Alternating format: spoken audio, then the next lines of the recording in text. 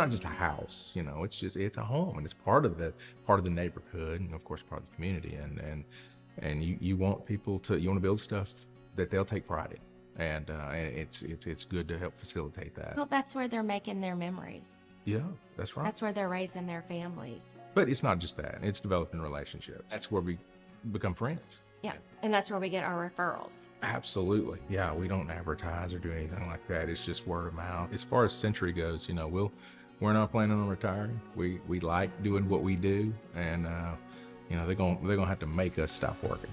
I went to UALR and, and graduated a construction management degree and worked in uh, with her dad. Actually, we worked built churches and I just studied under the old man and uh, learned a lot from him. And it was it was well worth the effort. And he's a great guy to work with. So learned a lot. I asked him one day. I said, "Hey, what are you gonna do with your company?"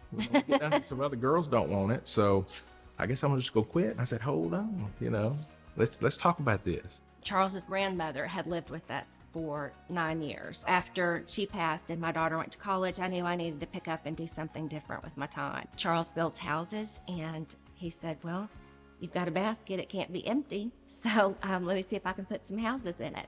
And so I started in real estate. You know, without uh, without the bank, you know, obviously getting us to that next step, we can't do it. It's nice to be able to call someone at the bank and say, Hey, you've worked with us for all these years and this is what we're thinking about doing. Can we pull the trigger on this today? And they can give us a response back so that we can respond quickly to deals that come on the market. Oh my stars, it is just so much easier to bank with First Community than any other bank we're with. It's important for us to give back.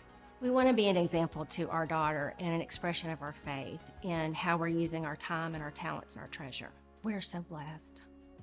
And we just really need to uh, put forth effort to share with others.